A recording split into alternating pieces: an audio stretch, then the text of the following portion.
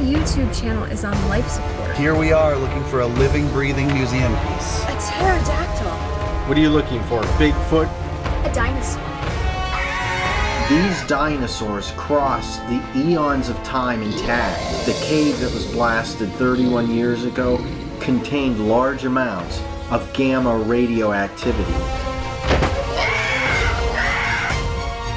Want some weed, Bertie? You may have gotten me once. You're not gonna get me again.